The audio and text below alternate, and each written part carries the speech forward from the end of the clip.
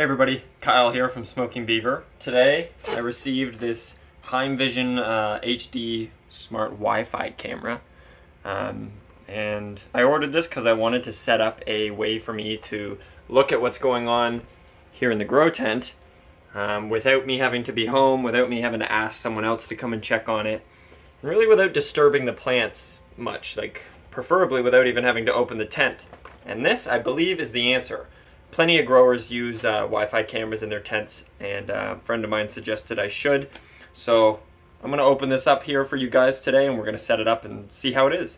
So the specific model I got here is the HM203. I'll, uh, I'll post the product link on Amazon for you guys to make it easy to go and find it if you're interested in adding this to your grow setup. The main reason I wanted to get this model, first off, it was cheap. I think this is on sale uh, at the time of recording this for like 30 bucks and it also has a pan and tilt mode or option I guess. Um, there's a little motor in there that actually lets you tilt the camera up and down and turn. And that was important for me because I want to be able to actually look around the tent a little bit. And it said like 355 degrees of, of turn there so that should be pretty good. So opening up this box inside. It's a free gift of some kind. I'll have to look at that later. Just random instructions yeah, we'll skip those. Here's the camera. Uh, pretty decent weight to it. It's a pretty light camera, um, but I guess I'm not expecting too much from it. You can see it does have a little bit of a uh, movement there, so definitely seems like it will turn to some degree. Get this thing out of here as well. Pretty simple box, not too much. There's a cable and some mounting tools it looks like. That's pretty sweet. So uh, looks like you could probably set up a sort of a mount and have this lifted and sort of hung uh, maybe from a pole in the tent with some zip ties. That would actually be pretty cool. We'll see what sort of a setup we can get going here. So this is all the hardware that comes in the box. Let's uh, get this camera set up in the tent and then I'll show you guys the app that coincides with this. Um, my other thing is I wanted to make sure that I was getting a camera that could do live Wi-Fi uh, streaming right to my phone without having to pay some sort of subscription or pay for some cloud service or anything. And uh, this camera looked to fit that. You just kind of scan an IR code, sets it up in the app apparently, and then you can um, just stream it live to your phone without having to pay anything extra. So I did actually decide to use the mounting hardware that came with it. I figure it'd be great to zip tie this to one of the poles on the sides of the tent there, and uh, that'll give me room to put the camera in without having it clutter the bottom, especially, you know, I only have a 2x2 tent. So the less I can have on the ground, the better. Um, I kind of did this a little weird, but this little bracket here that you see just screws in on the end. Here, I'll show you. This piece, as you saw, comes by itself, just like that.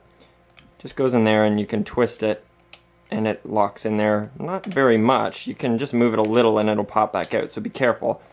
That goes in there like that, and then you can just screw it into the bracket. Like that and make sure it's nice and tight. Just remember that will slide out kind of easily, so don't be uh, messing with it. When the camera's there, you might drop it. And then just have it kind of how you want to hang it. I probably actually would rather have it like this. See, like that. Just make sure it's tight in there. And then just like zip tied to a pole, I think that'll do pretty well. And with the panning feature, I should be able to look up at the light, because that's another thing I want to be able to do is, um, you know, any time in the day, just kind of pan up and look at the light and make sure nothing's, you know, on fire or something like that. So as you can see, I have this cord hanging down. It's uh, just kind of off camera here. There's a port. See if I can tilt up and show you. Uh, there's a port up in the top there in the tent that lets me run wires through. It actually works out pretty well. I can run this cable down and I don't have things cluttering up on the floor. I'm gonna just zip tie this bracket here to the pole and then uh, probably a little lower, probably around there.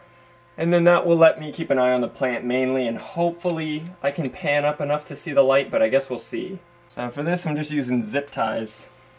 I'm gonna kind of run them through the holes there for the screws so there's a bit of a good grip.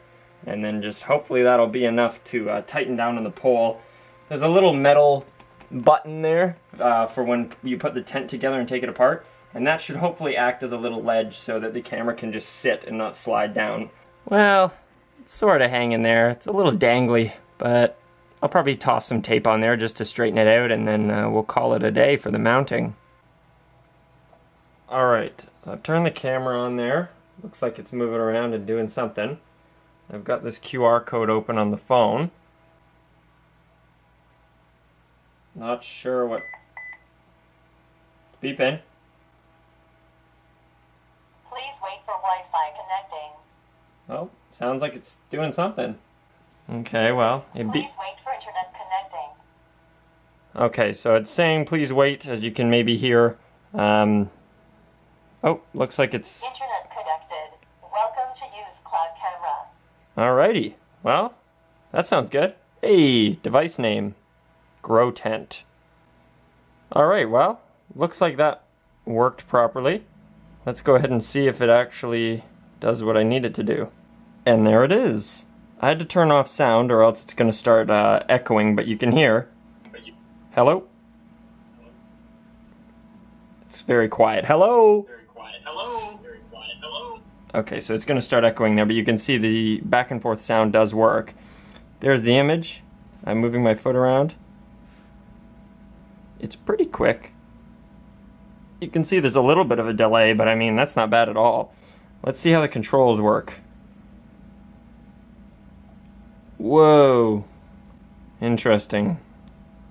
So it would definitely be a little touchy if you're um, if you're off somewhere else because there's a tad bit of a delay, but it actually looks like it's responding pretty good. All right, so here we are in the full screen mode, which is pretty cool. You can control the camera while getting a bit of a better view. I had a bit of a small brain moment there because I forgot the camera turns much more than it pans up and down or tilts. So instead of having to do this in order to get a better view, I can just spin the camera. You can see it turning all the way around there. We'll do it the other way. It's almost enough to see the light if I can just really there. I mean that's not too bad. I can see right up at the light and see if there's any sort of finicky stuff going on. If I wanted to adjust it, I could have it uh, possibly up higher, and that way it would let me see the actual um, like the drivers on top of the light. But honestly, it's good enough for me right now to just be able to see the panel itself and see if there's any sort of malfunction in the uh, diodes. Now it said there's also a zoom function. Um, let's see. Oh wow, that's awesome. That's just a digital zoom, so you don't have to wait for the camera to do anything. You can zoom right in, and uh, that's actually pretty good quality. And this is streaming at all times to my phone, so I could be at a coffee shop or somewhere at a friend's house, turn this on and take a look at the plant. Honestly guys, I have to say this camera is pretty sweet. I was just playing around with some more of the features. You can drag and control the camera like that. If you hold this microphone button, hello, Hello. I just let it go so it doesn't echo, but you can talk through the camera to somebody else no matter where you are, as long as you have Wi-Fi connection, and then that person can talk back as long as you turn on sound. An additional cool thing is uh, if somebody comes in here and opens the tent, as I tested earlier, it will actually send a notification to my phone that there's been movement detected. It will also do the same thing with sound, which is, uh, that's really cool. And you can play with those features and settings. And here's another really cool feature. As you can see, the light in the tent right now is off, and it is pitch black in there, as it should be when the light's off.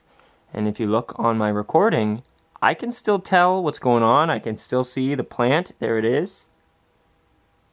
And this is all IR night vision. So this camera for $30 also has night vision that is very functional. Let's see if I can read the humidity well in night vision mode. Mm, not really. I can almost make it out uh, with my eyes. And the camera, it looks horrible uh, on this camera. But yeah, it's not really something that I can make out on the screen when night vision is enabled on standard definition. I'm going to go turn the light on and see if I can tell when it's bright. Here's the view with the light on, zoomed in, and uh, I can actually make it out. You can see it kind of adjusts every so often as the Wi-Fi stutters, but I can tell it's 48% in there, which by the way is very low. That is not a good humidity. It's just because I had the tent open though. It will, uh, it will go back up. So at least I know when the light is on. I can also check on my environment in the tent. If it's something that uh, interests you, having surveillance and being able to check on your plants when you're away from home, and just really having the peace of mind that, okay, let me look at the soil right now. Let me see if it maybe needs a water. Let me see if the tent is uh, all in good condition, if it's on fire, if the lights are not working properly. it's nice to have this thing in my pocket where I can look and say, okay, we're all good. And it's great that it can just kind of fit up in the corner of the tent away from everything and it keeps the ground nice and tidy, or at least relatively tidy. If you guys are interested in checking this camera out, they weren't a sponsor for this video, but I do really love the product. Um, you can go and hit the link in the description below and um, yeah, just check it out. They have a couple other cameras on there on Amazon too, but this was the best priced one that I could find that still had a like a bunch of good reviews. Thanks for checking this video out. I hope it was helpful for you guys. I hope it gave you some insight into the products that are available and that they don't have to cost a bunch of money. If you guys like these types of videos and want to see more, hit it with a like. Tell me in the comments what you like, what you don't like. And uh, if you like the content I'm making here on the channel and you feel like supporting me, please consider subscribing. It's free for you and it helps me a lot. Anyway, guys, that's it today. Thanks for watching. I appreciate it. And uh, I will see you guys in the next video, which will probably be more to do with this little girl here. Stay safe and have fun. Bye.